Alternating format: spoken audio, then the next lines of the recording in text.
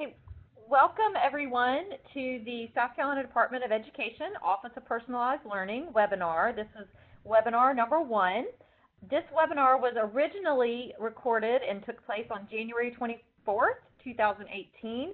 This is actually a re-recording due to a couple of little technical things that we wanted to make sure were um, corrected. And so we are re-recording this webinar, um, but we will still be able to share with you some features um, of folks who were live and uh, participated in the chat feature, and we're going to make sure that we uh, weave those things into that. Here with us today, um, I have Robin Kanan and Lauren McCauley. Robin is with a group called KnowledgeWorks, and they are partnering with the South Carolina Department of Education um, as we move through finding your why and knowing the what. So thank you um, for joining us. Um, I'm Stephanie DeStasio, and as I said, Lauren McCauley is with us, and Robin is with us today. Uh, Lori is not with us on this webinar, but she was with us on the first one. So I am going to go ahead at this point and turn it over to Robin. Wonderful. Thanks, Stephanie and Lauren, and good afternoon, South Carolina. So one of the things that we did when we were recording um, our first webinar is we had uh, lots of our participants make use of the chat box. And because this webinar is not live, we're handling the chat box a different way. Lauren, do you want to talk about that for just a minute? Yes, so when we get to the features where our participants were asked to interact in the chat box, uh, Robin will share the question and then I will share a couple of the answers for, from some of our participants so that we can uh, hear some of the great ideas that were sh shared on our live webinar. Wonderful. And we had participants from all over the state join us. And so we, in an attempt to really personalize the experience, we asked folks to let us know who they were and where they were from. And we had uh, all, all kinds of different roles teachers and administrators, building leaders, instructional coaches, district folks, um, superintendents, building teams. And so we had a wide variety of participants, and we were really excited about that.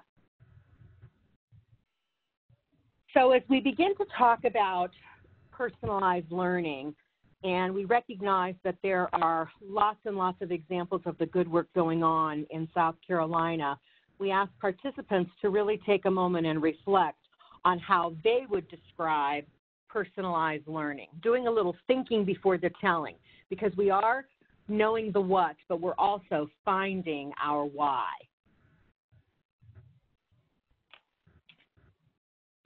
Yes, and so some of the great answers that we received to, to this question in our chat box were um, I would describe personalized learning as customized to meet the needs of individual learners. Personalized learning is focused on the learner. Keywords are flexible and student driven. It's about using data to drive decisions.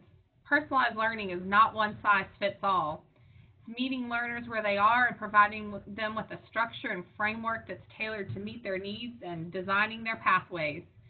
Personalized learning is transparent, individualized. It's about choice and student mastery of goals. Student uh, personalized learning um, fosters self-advocacy and student agency.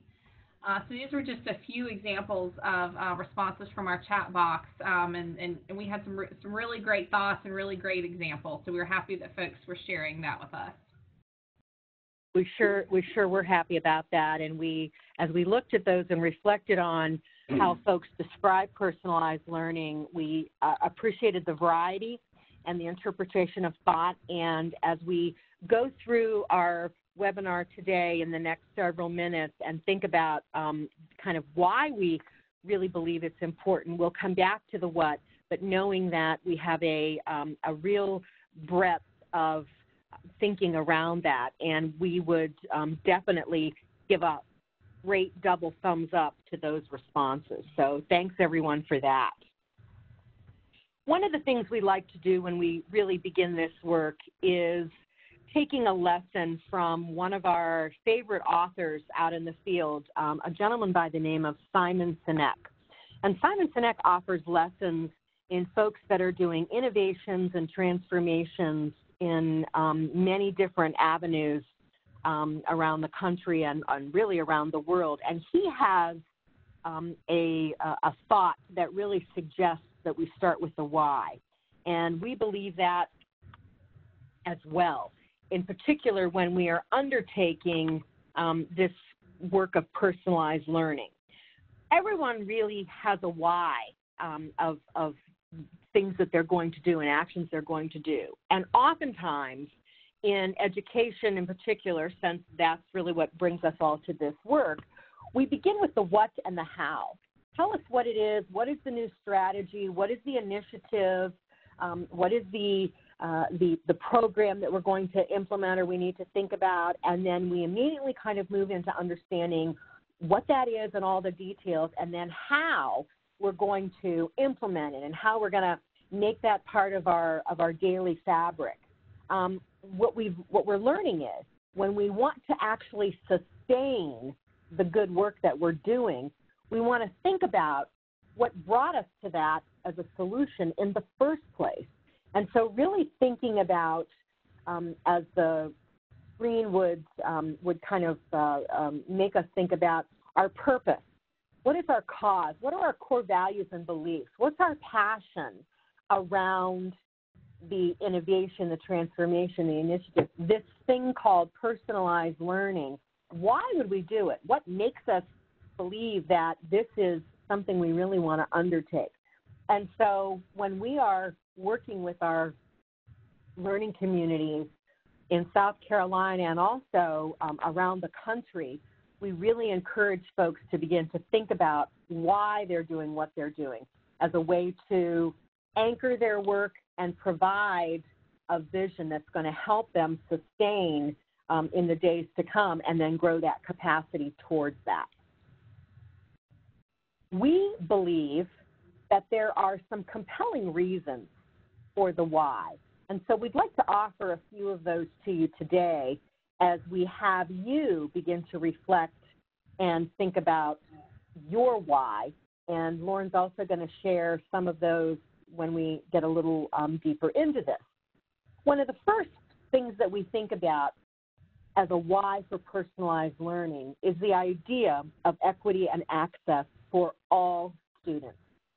Meeting the unique needs of each student is a powerful level, um, lever in education, and we believe that personalized learning provides and addresses that equity that oftentimes um, is a challenge. We believe that, and we know that neuroscience is exploding. Um, brain science tells us that kids develop at different rates. And if that is something we believe from the research, and we do, then we have to think about how we sometimes batch kids in mass groups 25 students in a class, all taking the same test on the same thing at the same time. If brain science tells us that children learn at different rates, is that really a strategy that we want to carry forward? We think closing learning gaps is another compelling reason for personalized learning. Students, all students, in particular, this um, idea highlights what would traditionally be your higher performing students, um, those kids that traditionally get the A's and the B's, they have gaps in their learning, just like students who may struggle or be challenged um, throughout the school day. And personalized learning has shown us that those gaps can be closed for all learners. So if we're talking about every student, we mean every student, not just students that may have traditionally been identified in one particular subgroup. We really believe that personalized learning um, not only helps and supports students as they grow in um, academic content areas, but also as they develop skills and characteristics to be successful um, after their school experience. So, in college, if that's their choice, in a career or workforce, and certainly um, as part of being a citizen.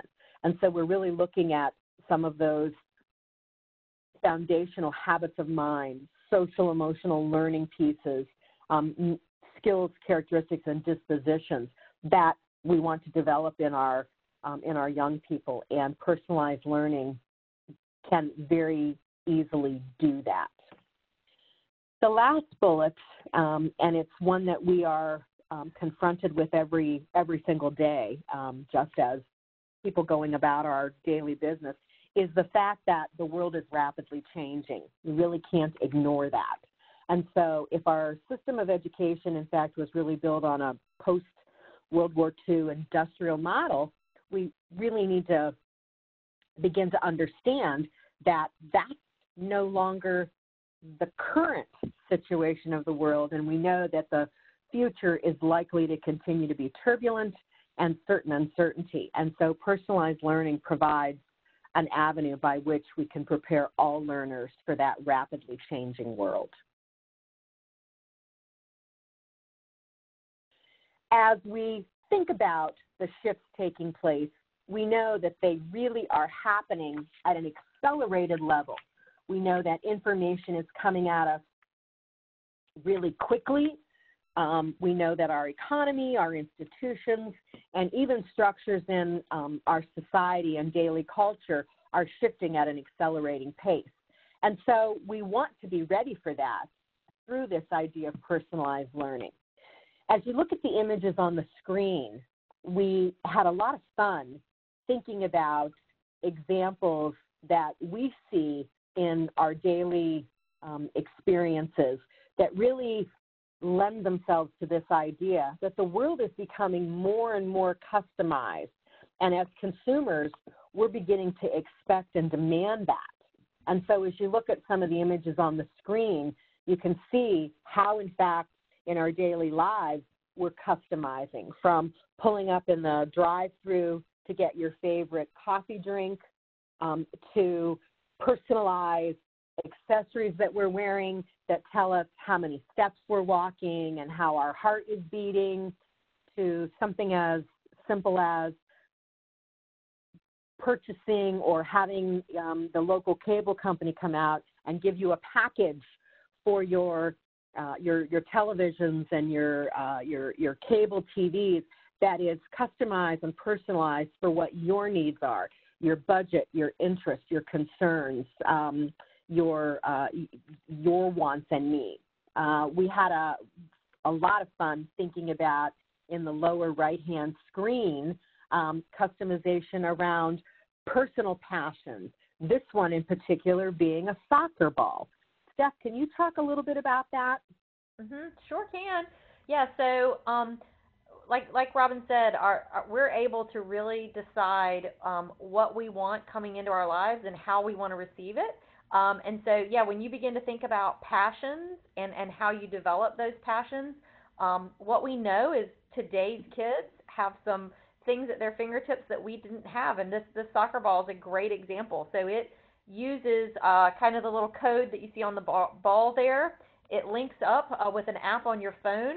It sends you, you put in specific goals that you want to be able to reach or things that you want to do. It creates training plans. You, you actually sit your phone up and it, um, through visual software, which I obviously do not fully understand, uh, it gives you real time feedback on how you're doing. Uh, gives you specific next steps on, on things to work on, so breaks that down. And then you know, should you want to do that, let's say you're playing on a soccer team, you can take that information and, and take that to your coach and, and build on things that you're doing within your team and or just use it on your own for, for just something that you're you're wanting to develop um, specific skills uh, and, and and be able to enhance those. And so it's just it's amazing all of the different ways that our lives are customized and personalized that we almost take for granted at this point. Um, but but definitely that's that's the world we live in. That is the world we live in, and and uh, whether we recognize it or not, when I get coupons um, from my local grocer, and I think, wow, how did they know what I was buying? Well, it's because my keychain looks like the keychain that you see up there with all my um, frequent shopper cards, who are tracking data, but also using it to enhance my shopping experience and give me what I need. So my the dog food that I buy and the brand that I buy, I'm getting a coupon for that in the mail. And so lots of fun to think about ways in which the world is becoming more and more customized and personalized so that individuals make those contributions um, as, as they move through the world. What we'd like to ask, and what we did ask, was in the chat box for folks to respond how they see customization and personalization in the world. Lauren, do we have thoughts from our chat box about what folks have to say about that? Yeah, we sure did. So, uh, folks chimed in with um, some things that we're very familiar with, like Fitbit, um, Weight Watchers. Our, our banking is often personalized. Um, in school life, we look at um, RTI and differentiation. Um, you know, as we, we look at the, the television realm, a number of people mentioned Sling TV. Um, they also mentioned Amazon and Netflix recommendations, which perhaps are what we're all um, most familiar with. Uh, YouTube, right. YouTube offers personalized recommendations based on what you frequently search, um, as well as uh, Nook um, and Kindle recommendations. And I would add to that that I often find that it's hard to turn on uh, the radio and listen to, to commercials without hearing an, an an ad for personalized dentistry or doctors or personalized summer camp or food delivery programs. So certainly uh, the, the term and the personalization in our life is everywhere. Is everywhere. Another thing that we are learning and seeing in terms of future trends and patterns is this idea that structures and roles are becoming more and more diversified and we really take a closer look at that and unpack that and think about, well, what does that mean, you know, in, in schools?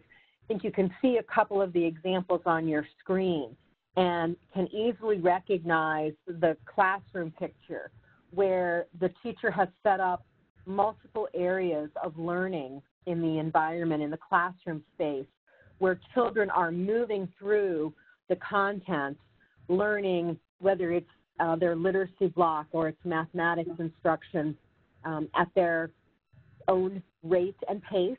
Um, how not every student in the classroom is doing the same thing at the same time, and that those computer programs the kids are working on, or perhaps the lesson in the back table with the teacher, have been designed based on data programs that the that the teacher may be using, some formative assessments, so that kids are receiving instructions in real time uh, where they where they're at and helping them be more successful in their learning experiences that are in fact becoming personalized for them. And so the whole structure of the classroom has been has been changed.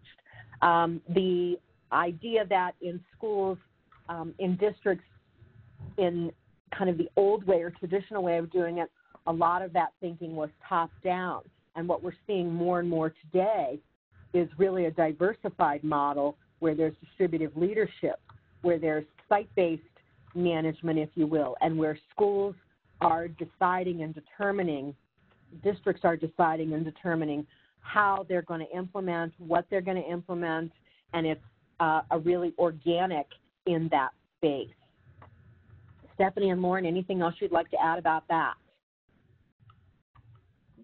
No, I think we're good. Yeah, great. So one of the things we did as an, as an organizer in our chat box was we really asked some questions, um, and you'll you'll see these on the screen um, based on what we've heard so far about our compelling reasons. This idea that the why is really important to determine up front, and then some things that we're recognizing as part of future trends and patterns. We asked our participants really what excited them about what they've heard so far. Lauren? Sure. So, one of our uh, most frequent and most popular responses to this question was um, What excites you about personalized learning? The potential to meet the needs of all students. Um, in personalized learning, all children have the opportunity to be successful. Our participants also responded that they see room to innovate in personalized learning. It's exciting and teachers are excited and students are excited about the innovation and the flexibility. Um, we've heard folks say it's how I've always wanted to teach, and, and now I have the, the freedom to do that. Um, folks also mentioned equitable learning experiences for students. Uh, and then uh, another participant mentioned um, the teachers are using their learning management system to create personal modules for students based on based on assessment. So just a few great examples of what excites folks about personalized learning. I love that, and I, loved how those comments reflected not only what's what we know is is is fantastic for our students, but the job satisfaction for our teachers. Teachers are excited and re-energized to think about. I've waited for this, and this is really the way I've always wanted to teach. So I love that. Another question we asked is what they perhaps find challenging, maybe a little daunting, uh, as they think about all these changes that are happening and these compelling reasons. Lauren?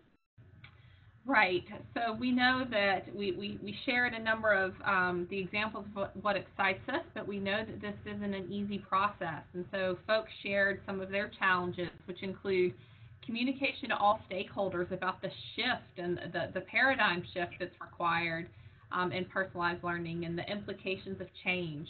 Um, how do we go about shifting, shifting the system of support for personalized learning? How do we get and provide consistent training, professional development for our educators and, and our whole staff in our building?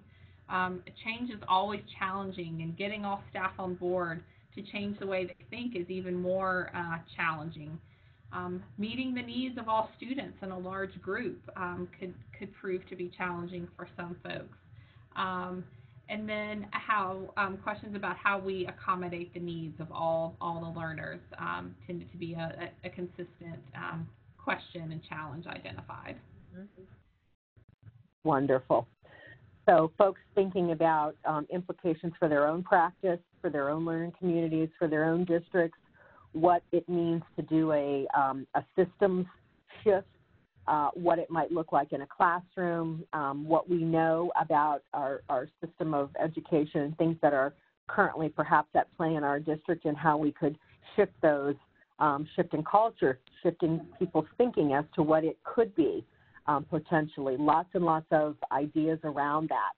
And we ended up um, this particular reflection section really with, with folks thinking about what implications for the work was. And you heard a little bit of that um, in some of the former comments. Lauren, anything else that was um, of significance here that folks had to say? Yeah, a couple examples. So one thing that we spend a lot of time thinking about here at the State Department um, in terms of the the shift required in personalization is how we think differently about state accountability and testing and evaluation. Um, that's we, we spend a lot of time talking with our colleagues here um, about about those pieces. Um, a few other implications folks mentioned: um, getting students and teachers to take risks and think outside the box. Um, how do we provide the support to, to help them do that?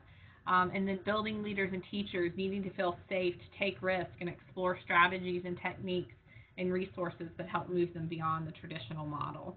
So definitely some really good good thoughts here about what excites folks, what they find challenging, and the implications for the work. So we're very excited to see the the deep thinking and the the, the responses that we received. Very good, uh, and we we also have those same excitements, challenges, and thinking about those implications as we um, uh, really carry through with systems of support for folks trying to do this this great work. One of the things that we wanted to do was to give you a couple of um, examples of what it looks like. Um, oftentimes, folks that are visual learners, um, one of the questions we see is, oh, okay, I'm, I'm in, I understand, I feel good about this, I, I, I'm building my why. Um, what does it look like out there? And so we wanted to bring to you a couple of a couple of perspectives from some of our districts that we're currently working with, both in South Carolina and then outside the state as well, to again just give you some ideas of how other learning communities are approaching this work. Marysville, Ohio is um, in the Columbus, Ohio region, central Ohio, and they are doing a district shift from some traditional ways of teaching and learning into the personalized learning space. And so you can see on the screen when they were putting their vision together and thinking about their why, they really began to examine some of their data. And they typically give every year the Gallup organization's um, hope survey. And their hope data would indicate that while they're doing a, a solid job for all kids in the district, and it is a wonderful place to live and to raise your kids and to go to school. Their data suggested, and they realized that that wasn't necessarily the case for every student. And so they really felt that they were missing the mark with too many kids, and, and missing the mark with one child was ex- uh, unacceptable. So, in their effort to put kids first and really to align to their vision, they began to think about how personalized learning, in fact, could help them do that and do a better job for that. So, for them, it was really using their data to determine they weren't meeting the needs of all of their learners, and that's what they wanted to do. That was their why. Uh, another district, Regional School Unit 2 up in Maine, um, it's in the Augusta area of Maine, to give you a geographical point, um, has a vision and a mission and a strategy that they've identified as their why of personalized learning, and they believe their purpose under the leadership of Superintendent Bill Zima and the um, communities that come together to form RSU2 is that they really want to cultivate hope in all learners. They go on to define hope as the belief that the future will be better than the present and that each individual has the power to, in fact, make it so, but realizing there'll be many paths to the goal and none of those are free of obstacles. They use the work of Shane Lopez to really feature that.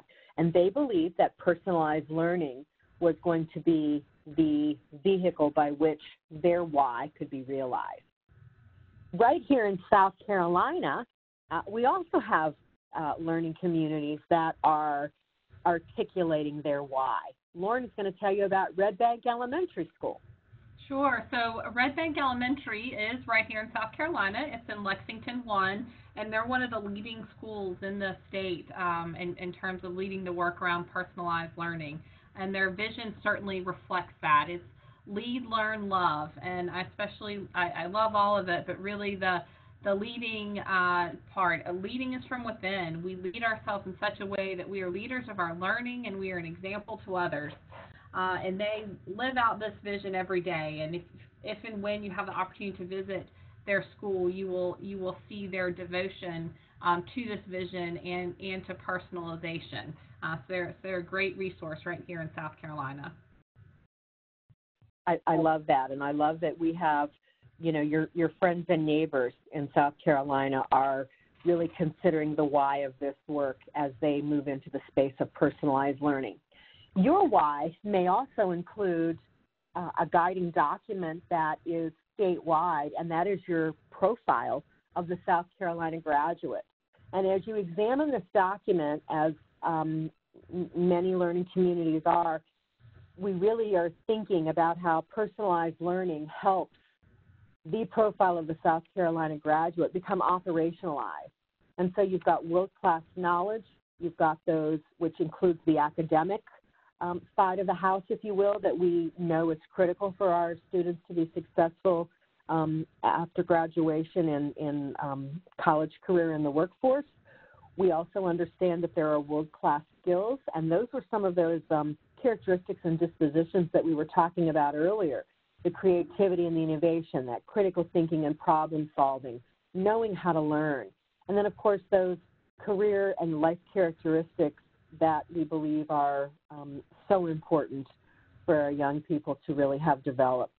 And so, as we look at the profile of the South Carolina graduate, we believe that it clearly helps make the case for the why of personalized learning. Again, we wanted to hand it over to our audience. And so we asked the question what they would consider in determining the why. We knew that in a webinar, the structure is not expecting anyone to really come up with it at that moment in time. But what are some things that you would consider? Um, whether you're from the perspective of a classroom teacher, you're a building leader, um, you're more at the district level uh, in supports. And so we had folks respond to this in the chat box. Yes, so we again received some great responses to this question. Um, a, a, number of folks mentioned the need to consider the unique needs of their students and the unique needs of their community in considering their why. Uh, they talked a lot about college and career readiness and how we prepare students for a 21st and 22nd century um, education. Um, folks talked about how we support our struggling students, but also how we're advancing our um, our advanced students as well and, and not holding them back. So these were some excellent considerations. That's wonderful. And they'll use those as they really begin to think about and perhaps their, uh, what Simon Sinek again would say, your core values and beliefs, your core purpose and determine and, and what you determine you're going to implement. So we, we really appreciated those responses. As we gave folks some food for thought around identifying their why, we wanted to circle back to the what of personalized learning and one of the first things we had asked folks to do, and Lauren had shared, was reflecting on how they would describe personalized learning and what it may um, all involve. And so we revisited that. And as we revisited that, we then wanted to have participants understand that there are organizations, um, certainly the um, uh, Department of Education at South Carolina, certainly KnowledgeWorks that is here represented on your webinar today, but also other organizations in the field who are spending some time really talking about the what of personalized learning. One of those organizations is an organization called iNACOL that you may be familiar with, and that is an acronym for um, the um, International Association for Online Learning that has done a lot of shifting into this space of personalized learning. And they are a thought leader in the field, and they would offer from all of their experiences uh, around uh, both the, the country nationally and internationally some characteristics or descriptors of elements of personalized learning. And so we invited folks to really take a look at what's there on the screen and to ask themselves do they see any of those practices um, or elements that they currently are doing as part of their daily work um, in teaching and learning. From student agency, um, differentiated instruction that Lauren had mentioned before in the chat box, um, the deeper learning and problem solving that certainly reflects what the profile of the South Carolina graduates um, was was articulating, those, that standards-based world-class knowledge and skills, the idea that learning is anytime, anywhere, and uh, uh, can be credentialed by classroom teachers uh, if children are able to learn and provide evidence of learning with experiences they have outside of the classroom, flexible pacing, and so really uh, not an all-inclusive, but certainly some major themes around elements. Right, Robin. I would say too, it was really important um, in the first webinar we talked about even um, if you if you're in a school and your learning community may not have been referring to things as personalized learning.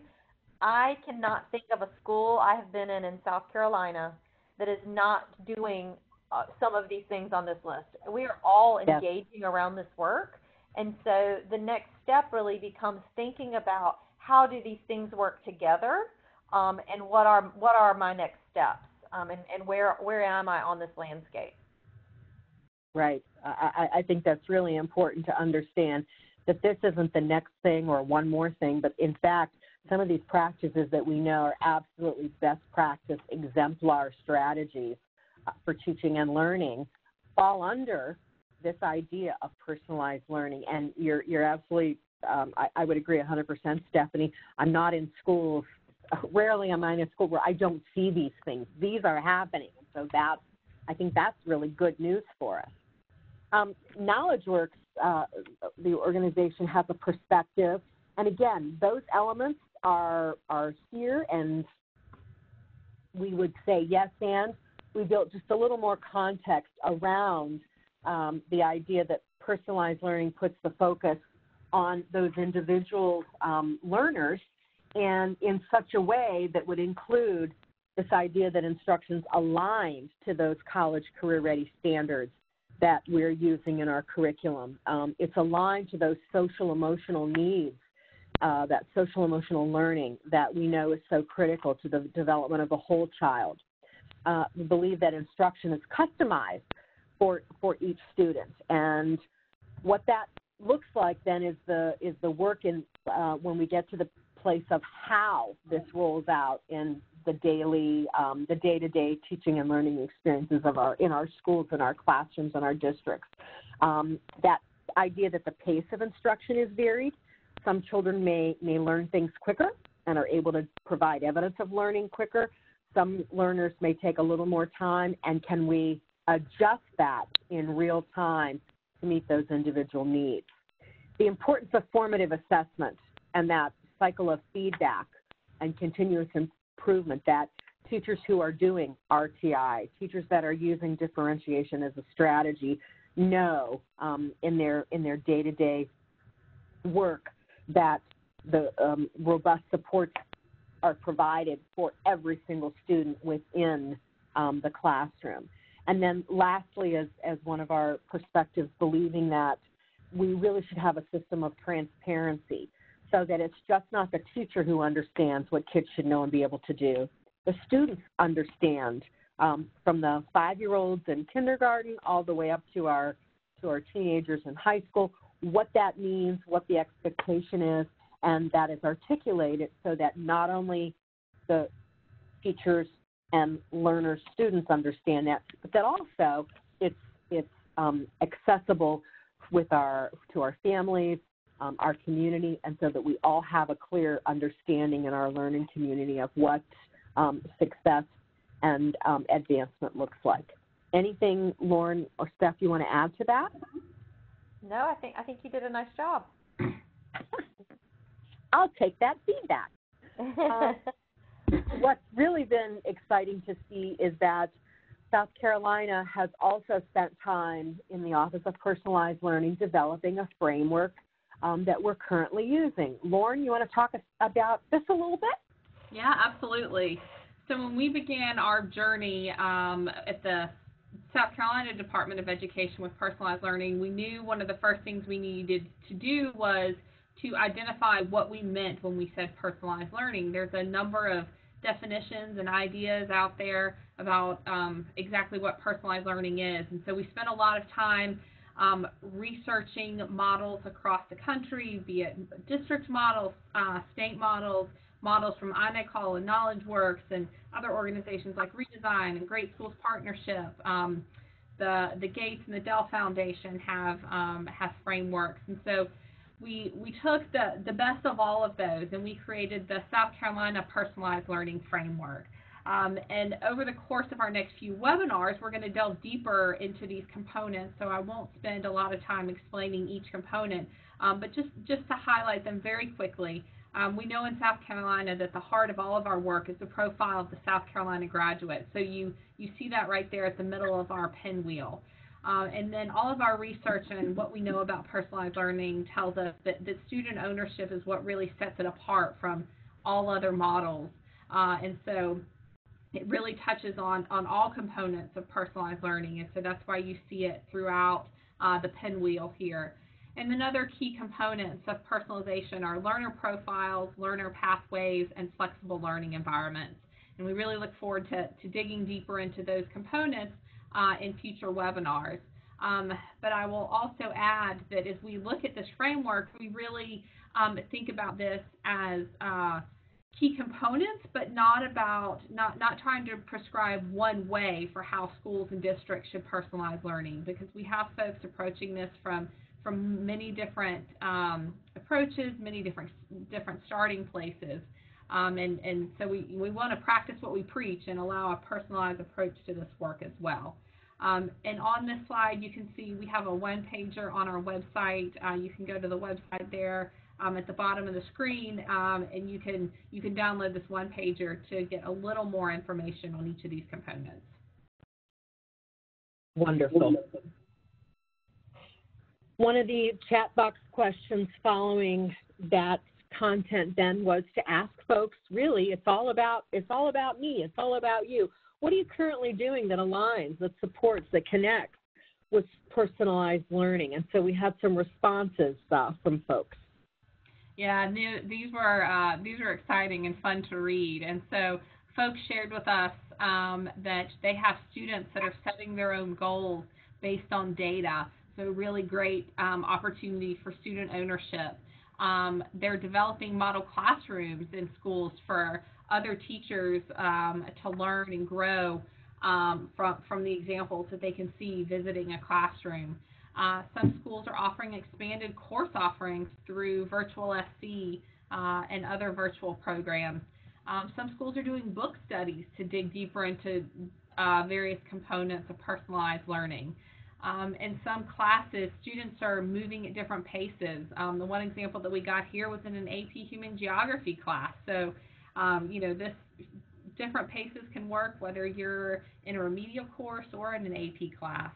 Um, it, uh, another participant talked about um, giving freedom in terms of um, how students present their work and create a product in order to show their learning. Um, another uh, participant mentioned pockets of students leading um, student-led conferences with parents and teachers. Um, another example of uh, goal setting.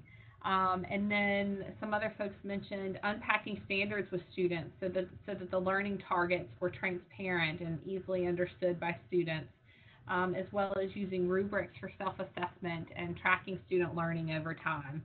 Uh, so a lot of good examples of uh, those key components of personalization. And as Stephanie mentioned earlier, um, there are there are personalized practices going on in every school across the state, and it's exciting to to actually put a name to some of those strategies that are being used. That's very exciting, and certainly makes the case that there's no one way to do this, and there's no one no one place to really start. So um, kudos to to those folks, and uh, that is very very exciting. Also exciting, Stephanie. Yes, yeah, so um, we have created a hashtag called Personalized SC because, like I said, we know that these things are happening across our state. Um, and we at the Department of Education want to be able to celebrate that. We want to be able to tell these stories and share these stories. We also want to put the power back into the hands of the teachers at the school level. And so, how do we connect teachers across our state? And and we just felt like personalized SC as a hashtag is, is one way to do that.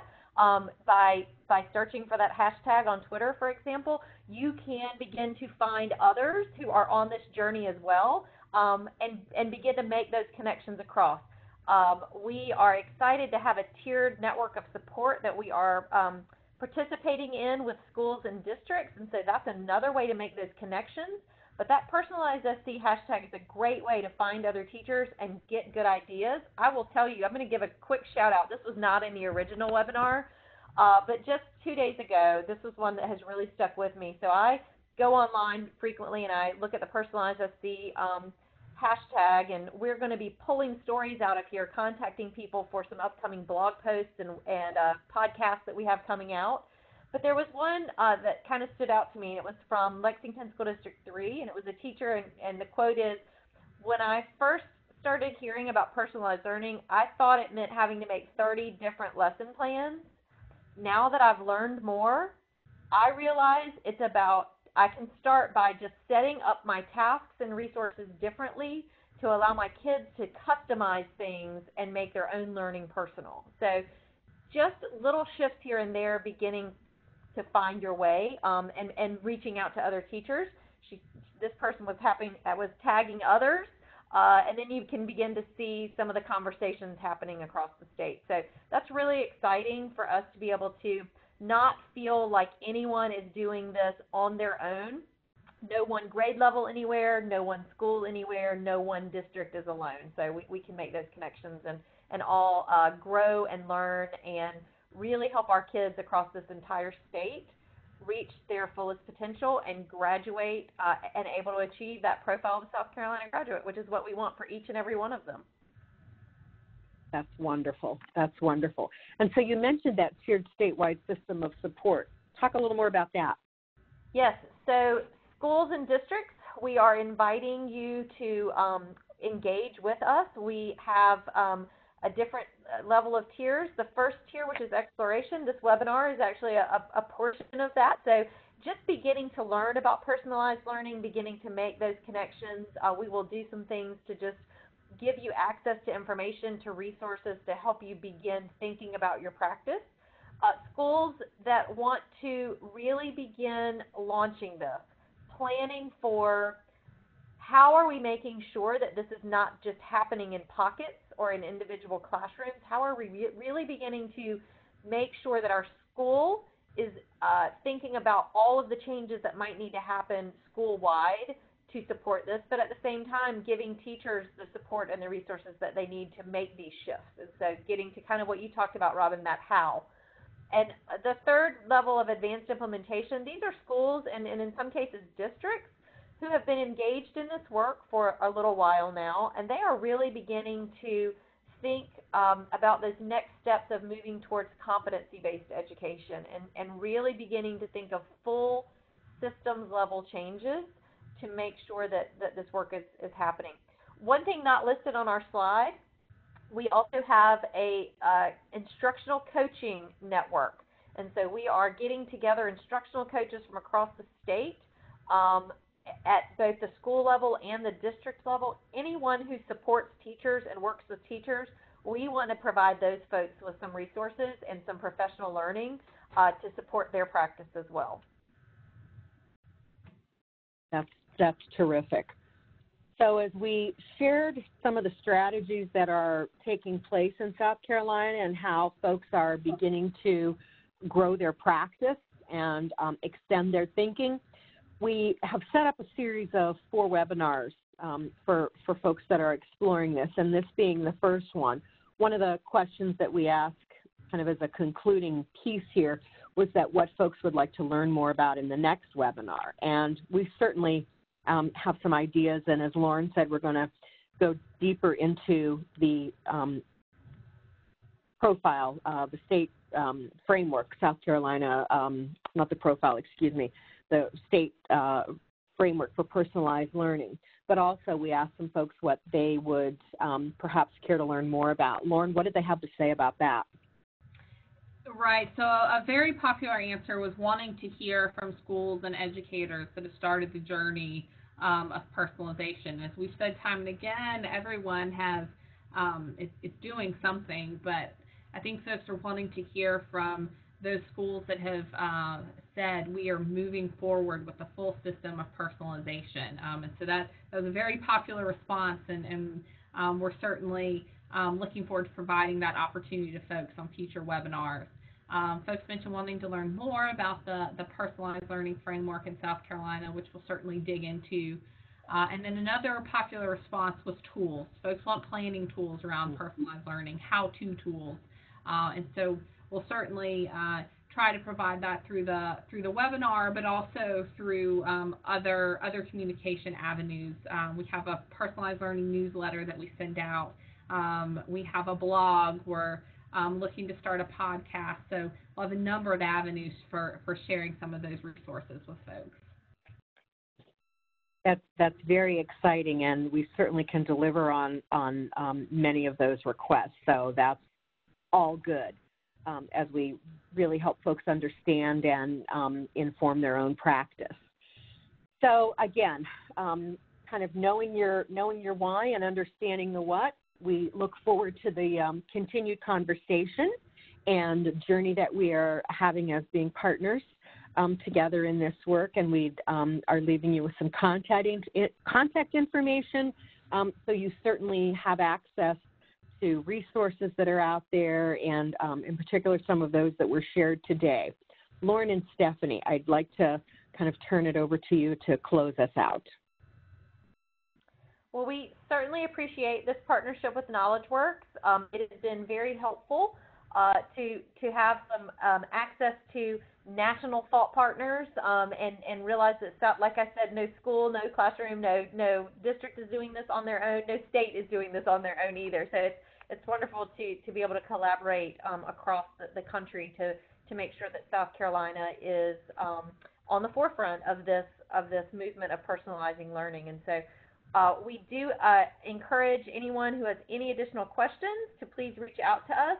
We are more than happy to respond um, and want to make sure that we we are offering you what it is that you need. So if there is something that you need that we're not offering, we encourage you to reach out and get in touch with us so we can begin to think with you. I will say too, um, we really enjoy, Lauren and I both really enjoy the opportunity to get out into our schools across the state of South Carolina. So if your district wants some more information, we are more than happy to come um, to you and, and have that conversation. So please do not hesitate to reach out. Lauren, anything else? No, just thank you to everyone who participated on our live webinar and all of you who listened to this webinar. And we look forward to, to seeing you in person and, and collaborating with you online.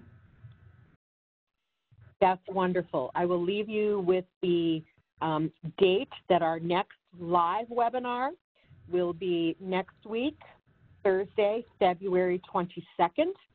And you can look for uh, the information coming out of um, uh, Lauren and Stephanie's office to provide you with the um, with the links.